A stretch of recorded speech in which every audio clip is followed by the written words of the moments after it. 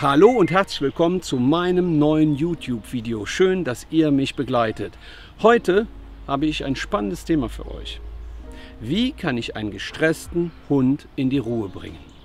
Ja, viele Leute fragen sich immer, hm, was mache ich eigentlich, wenn mein Hund total gestresst ist und ich bekomme ihn nicht in die Ruhe? Was ist, wenn ich so einen Aufmerksamkeitsjunkie habe und der die ganze Zeit immer auf 180 ist? Wie schafft ihr das, ihn wieder zu beruhigen? Wenn ihr mal auf eure Verhaltensweisen achtet, werdet ihr erkennen, dass ihr eurem Hund ganz viel Unruhe oder Ruhe vermitteln könnt. Viele Leute stopfen einfach ganz viel überschüssige Energie in ihre Hunde und wundern sich dann, ja, dass die Hunde eben unruhig sind. Also man kann mit Hunden auf verschiedene Art und Weise kommunizieren und man kann seinen eigenen Hund auch wirklich hochschaukeln. Wenn man sich dann darüber beschwert, dass der Hund eben eine Energie hat, die völlig überschüssig ist und er diese dann an anderen Hunden oder anderen Menschen auslässt, ja, dann muss man sich nicht wundern, wenn sich andere Hunde oder andere Menschen beschweren. Aber diese Probleme sind häufig hausgemacht. Also, wie beruhige ich denn jetzt einen unruhigen Hund?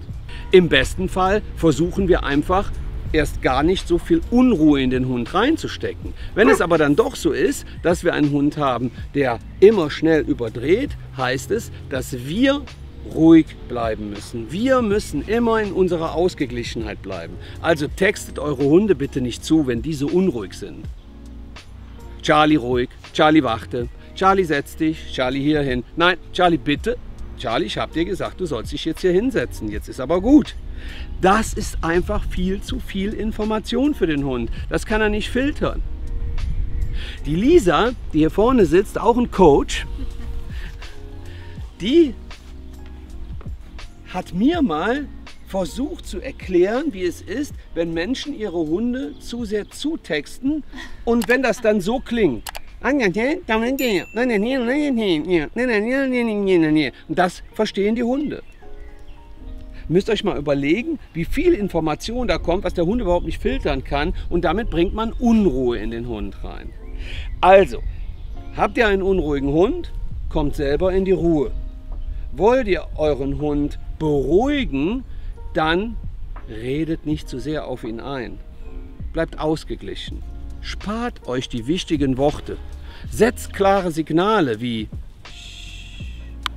ruhig Übt das zu Hause. Ihr könnt es auch auf der Couch üben oder auf dem Teppich, oder äh, irgendwo auf dem Boden, in der Wohnung. Legt euch mit eurem Hund hin und macht euch so ein Markerwort, ne, wie Ruhe. Ah. Und das könnt ihr auch draußen anwenden, wenn der Hund zu sehr hoch fährt. Aber wir fahren die Hunde oftmals hoch. Und dann wollen wir sie wieder beruhigen aber wir haben selber die Unruhe reingebracht. Also für mich ist das Wichtigste, wenn ein Hund zu viel Unruhe hat, dass wir uns erstmal die Frage stellen, wer hat ihm denn diese Unruhe beigebracht? Ob das beim Spiel ist, vor dem Füttern ist, vor dem Spaziergang ist, äh, Autofahren, Hundeschule. Es wird immer ganz, ganz viel ja, gestresste Energie von den Menschen auf die Hunde übertragen. Die Hunde führen es dann eigentlich richtig gut aus und dann beschweren sich die Menschen darüber. Das ist wie der Chef, der morgens in die Firma kommt und sagt, hallo, ja, hier, hier müssen wir da, da gucken, da, da, das muss, das muss noch, das, das, das muss auch noch gemacht werden. Da werden die Mitarbeiter schon irgendwann äh, sagen, ey, jetzt gleich kommt der Chef wieder, äh, stressig. Und immer dann, wenn der da ist, dann kriege ich so eine Unruhe. Und das ist bei den Hunden auch. Wenn wir ihnen zu viele ja, unruhige Energien vermitteln, dann werden sie unruhig.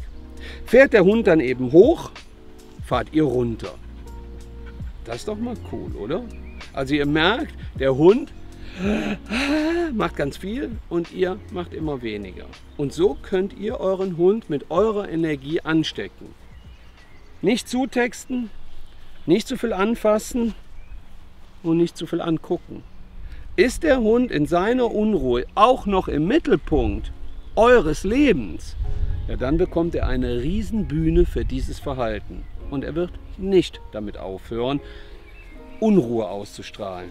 Also, er braucht ganz viel Ausgeglichenheit. Vielleicht kann ich euch das jetzt mal bei einem Hund demonstrieren. Also, schauen wir mal. Wie heißt denn die kleine Maus da? Rosi. Rosi? Rosi, das ist aber ein toller Name. Du nicht. Du bist die Lilly. Hallo Rosi. Hallo. Und die hat Feuer im Hintern. Ja, die ist ja Ah, noch hallo. neu in der Huta. Die ist neu in der Huta ne? und hat jetzt aber gerade schon ein bisschen Pulver verschossen hier, die kleine Maus. Ist aber eine hübsche. Was ist denn da drin? Wischler und Schnauze oder was? Das ist aber eine tolle Mischung. Du bist eine hübsche Maus. Also sie verhält sich ja jetzt angemessen. Ne? Also ich finde jetzt nicht, dass die zu hektisch ist oder zu unruhig ist. Sie ist ja ein, ein Jungspund, gehe ich mal von aus. Und ähm, gerade junge Hunde dürfen dann auch schon mal überschüssige Energie haben. Aber hier brauche ich, ich brauche jetzt gar nichts zu machen, weil dieser Hund ist nicht hektisch. Also brauche ich auch keine Ruhe da reinzustecken. Da kommt noch ein alter Vertrauter von mir, Monty. Hallo Monty. So, und jetzt mache ich mal etwas, was ihr nicht machen solltet. Ne? Hallo Monty, hallo Monty, hallo Monty, hallo Monty. Seht ihr, was dann passiert? Und dann sagt ihr, oh boah, der ist aber total hektisch, der Hund. Also der ist immer so schnell äh, oben und ich kriege den nie runter. Also dieses ganze Antatschen, spart euch das. Bitte, bitte tut euch selber den Gefallen. Vor allen Dingen bei unruhigen Hunden nicht so viel überschüssige Energie da reinstecken. Ne?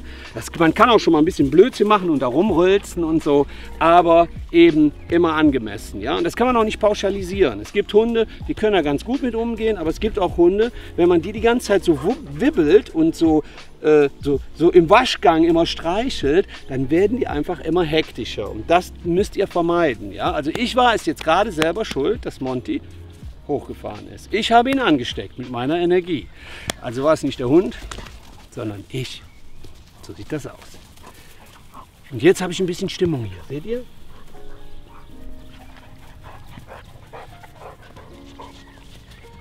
Toll, oder? Wie die miteinander kommunizieren. Schaut mal. Aber wie schaffe ich es jetzt, dass die Hunde mal aufhören zu spielen?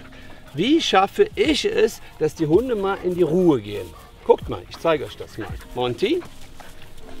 Moment. Moment. Also, du nimmst dir einen Hund. Monty. Äh, äh, äh. Äh. Kurzes Signal. Ruhe reinbringen. Guck mal, er kann schlecht abwarten. Ihr schiebt die andere Dame jetzt einfach kurz weg und dann begegnet ihr dem Monty echt mit Ruhe. Bloß nicht zutexten. Keine Hektik reinbringen. Verhält er sich ruhig und angemessen. Hat immer noch den Stress, merkt ihr? Er lässt sich nicht fixieren. Monty.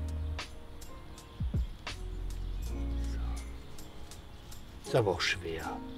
So eine hübsche Dame, ne? Und dann nicht spielen dürfen. Ich habe euch das jetzt einfach nur mal kurz demonstriert. Also nicht viel machen, sondern eher weniger. Gut? Super Schatz. Toll. Jetzt bin ich auch wieder ein bisschen interessanter, aber wenn ich jetzt loslasse, dann auf zur Dame. Da kommt sie wieder. Sie ist aber auch eine Schönheit. Ne? Da. Ist auch alles erlaubt. Also ihr habt gerade gesehen bei Monty, ich habe da ganz viel Ruhe reingebracht. Ne? Also nicht so, hey bitte hör auf, lass sein, setz dich hier hin, leg dich hin, mach Platz. Äh, zu viele Signale sind nicht gut für einen Hund. Und zu viel Mensch am Hund ist übrigens ungesund.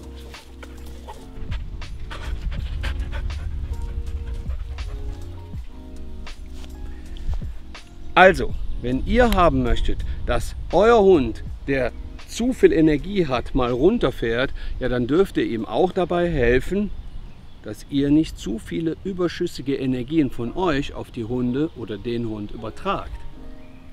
Wollt ihr einen ruhigen und ausgeglichenen Hund? Dann seid ruhig und ausgeglichen. Wollt ihr eine harmonische Beziehung mit eurem Hund? Dann lebt mit euch in Harmonie. Ich finde, es gibt ganz, ganz viele Hunde, die einfach so zu Beschäftigungs- und Aufmerksamkeitsjunkies geworden sind. Und dann gehen diese Menschen in Hundeschulen und wollen genau dieses Verhalten wieder abtrainieren. Aber es gibt ganz, ganz viele Zweibeiner, die ihren Vierbeinern genau diese Verhaltensweisen antrainiert haben. Also, euren Hund könnt ihr nur zur Ruhe bringen, wenn ihr selber in der Ruhe bleibt. Ist euer Hund hektisch, vermeidet einfach zwischendurch mal zu häufiges Ballspielen, zu viel Sprechen, zu viel Anfassen, zu viel Anschauen. Macht den Hund bitte in diesen Energien nicht zum Mittelpunkt der Erde.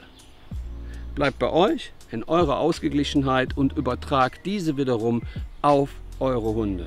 Und mit ganz viel Liebe, Geduld und Verständnis werdet ihr verstehen, dass ihr häufig überschüssige Energie an eure Hunde weitergebt. Und die führen genau das aus, was ihr ihnen vorlebt.